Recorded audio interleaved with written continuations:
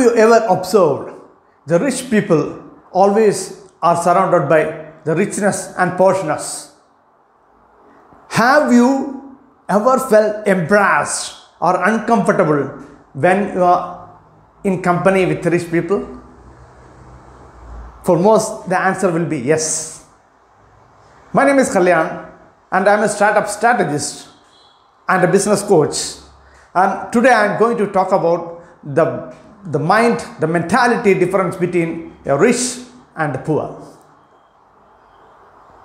It may be painful for you when I am telling something, but what I am telling is a naked truth. The naked truth that many people who are not rich feel a kind of, no, a kind of a pain in their ass when they see their friend or when they see the person who has with him comes in comes in a Porsche car and get down. In maybe you will laugh, you will smile at him, but within you may be feeling a bit bad or you may be feeling painful. That is the 90 percentage of the attitude. And second one, like I told, when you are rich, the rich people, they always ensure that they are always in the company of rich people or richness, or they ensure that they are in posh hotels or somewhere when they're taking food or whatever it is, they ensure that they uh, there is a class and that really gives a mileage, real mileage for them getting to that level. And uh, today I want to talk about one thing that is what is the reason. The, the main reason is attitude. Yes, the attitude. What you think you become. That is what Nightingale has told. What you think you become. So when you are thinking that I am poor, I am suffering, I have no money, what happens is your brain keeps thinking that no, you don't like money. That is inner sense. So it ensures that you are not going to get money. What happened is last week I was I was on a conference and uh, one lady came and meet, met me. She was she was in my class, my online classes before, and she came and met me and she asked me and she she asked me for my meeting. And during the meeting, one thing that she has told, this is her fourth company that she has started, and in all the three companies, she has reached a level. She has reached a level she was making money she has reached a level and once reaching that level she started draining down. She started falling down. So we sat and we are using our uh, techniques. We did a complete analysis. We went inside to find what is the cause what is the reason. Yes there is a big reason and that reason is applicable to each and every one of one of you. I will tell you in that end. Watch till the end subscribe and watch till the end and you will not regret for this. So i was talking about the attitude right? So the attitude of the people is that when you are not feeling comfortable when you are not feeling uh, uh, happy when you are feeling embarrassed in in the company of rich people so the attitude of you is that you don't want to be rich. And your attitude is you are having a kind of ego or you are, you are feeling you, that guy is not good. So first of all, if you want to be rich, you need to change this attitude. Start appreciating the people who are rich. Just give a clap. Give a clap. Nothing is going to hurt you. Just give a clap from the bottom of your heart and just feel that happiness that they are they are they are rich. Automatically that will also have an influence on you. You know, in, in Puranas and all, they used to say Tadasu. Tadasu is nothing but what you think you get. In Tadasu, what is the meaning of Tadasu? Let it be, let it happen. So the God says, you are asking for something and God says Tadastu. So the same thing is applying here. So Tadastu. So change your attitude when somebody is rich.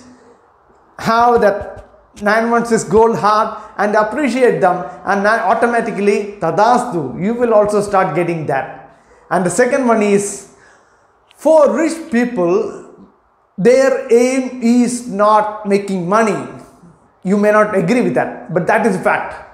For them, the money is only a byproduct because they know that when they are doing something, when they are achieving something, money will start flowing to them. You people used to say, no, that is for rich people when they say, I don't want money, money is coming. When I am asking for money, money is not coming. The reason, the biggest reason is that they are not focusing on making money and they are focusing more on doing something, achieving what other people are not doing, and that is why they are making money. And that is why others are not making money because when I want to do a course, when I want to study something, I first a question what I think is how much I have to pay. Instead of that, what I should have thought, I should have thought, what is in it for me? How that will change my life? Instead of that, the first question, how much I have to pay? Oh my God, this much of money. I never think of, think of the result, end result. I think of the money. so that is the biggest problem. Okay, so please change that one. Don't focus on money. Money is a byproduct. If you are able to deliver something and naturally the money will start flowing in. Money will say, please, they will not, money will knock the door, talk, talk, talk, talk, and they will, and money will say, please take me, please take me, because you are not, you are not even bothered about that, right? So like that. The other one is surroundings. Just presume that you are surrounded by people who have only negative thoughts. What negative thoughts? What is it? Negative thought they have, they always say that, they always keep on saying, I have no money, I have no house, I am on debt, I have no work. Now, the moment you are in with this kind of people, just cut it short. Just move away from them. Move away. Otherwise, what will happen is, whatever is happening to them will also start happening to you. That is what used to say. If somebody is asking, don't say I have no money. Tell them, yes, I'm happy, I have a lot of money and I'm really enjoying life. Whether you are enjoying life or not, whether you have money or not, always say, I am happy, I am enjoying your life, I am having money, I have money. Keep saying that and cut, cut away all those surroundings. Just move away from all those surroundings who are all the negative thoughts. Try to have friendships. Try to have relationship with people who are rich, rich in their mind as well as in physics. Everywhere, be rich, be in the company of rich people. And that is, a, that is one of the main reasons that many people join the clubs, you know, the, the rich people's clubs. People join those with a lot of vision, those with a lot of ambition, whether they are rich or not. What they do, they go and join some clubs where there are a lot of rich people. So the advantage is they will be in a position to mingle with rich people. They will be in a position to discuss the ideas. They will be always in a position to be rich. Because their thought process, there is no negativity there. There is always positivity. There is only talk of talk, talk of being being elevated. So the surroundings is another very, very, very important thing that you need to follow. And one more thing, one more thing, friend, that is very, very, very important. Very important. We are all told by our parents or by grandparents that is being rich is sin. Right? All right? Yes, being rich is sin. they say, they have been telling us, no, that guy is rich. No, don't be with him because he has made money in some other way. No, rich because if you are rich, you would have done something. If you are rich, you would have done some mistakes. They all feel that if you are rich, you have done some mistakes. You have made some mistakes. That is why you are rich. So, that biggest thing is in our mind, bottom of our mind. So, that is the one of the main reason that I, do you remember what I told about that lady? Yes, the problem with that lady was that she has it in her mind, the bottom of her mind, that being rich is sin. No, no, no, that is wrong. If you are feeling sin, sinful, if you are feeling bad for having money, then don't expect money to be with you. You are saying money to go away from you. So naturally the money will go. So don't ever. So that is the point.